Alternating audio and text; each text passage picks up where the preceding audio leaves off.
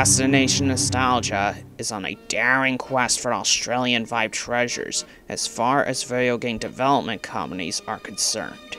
In addition, we are hungry for one video game title with suitable descriptions, as listed here, to add it to our physical PS5 collection.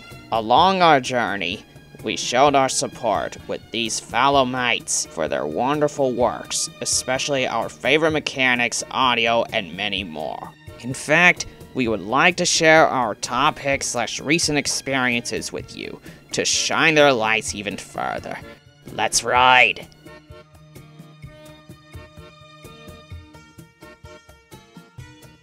In my previous video, I gave Paw Patrol on a roll a chase out of 10 because of not only the most suitable gameplay for players of all ages, but the phenomenal music compositions by Michael Allen, filled with happiness and nostalgic charm. Other great works were found in Rise of the Guardians, with a sense of calming ambience in loading screens, and The Croods Prehistoric Party, packed with fun-seeking adventures. James Langford also gave me nostalgic vibes, with some spooktacular chase compositions in Scooby-Doo First Frights, along with other fun and engaging tracks from a majority of GBA games, including an action-packed Space Invaders, a jungle-rific Pitfall The Lost Expedition, a relaxing Rapala Pro Fishing, an adventurous Curious George, and a good-spirited Shrek Smash and Crash Racing. Furthermore, Torus surprisingly gave me enough faith to try new genres and end up getting ripper results, including Dragonheart, Planet of the Apes, Jackie Chan Adventures Legend of the Dark Hand, and Beast Quest.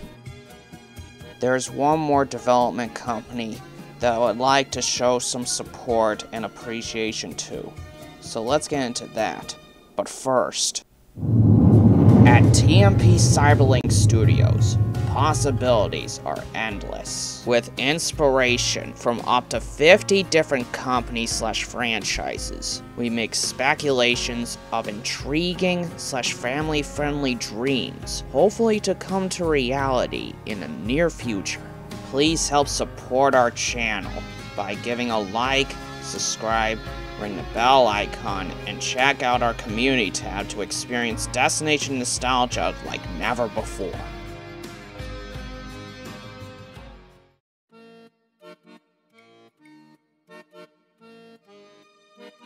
Before THQ's Australian development studio was born, it teamed up with Krome Studios in 2003 to make what I call a scientific masterpiece Jimmy Neutron Boy Genius Jet Fusion.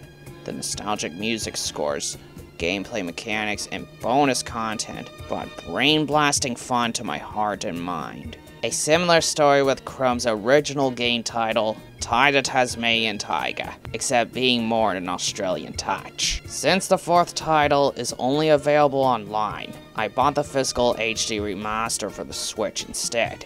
I have recently tried the hardcore mode as well, in case you're wondering what that red skull means. And Struth! Keeping Ty alive with one life is tough work. Almost lost all my progress with certain boss fights. However, I surprisingly have enough faith to complete it at the end, 100%. It was a ripper of a ride.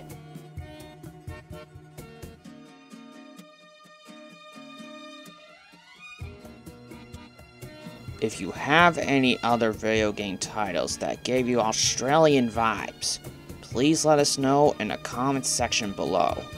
Thank you, Nostalgia Seekers, for your attention and watching this video. We'll see you next time as we unveil the hidden wonders of Destination Nostalgia.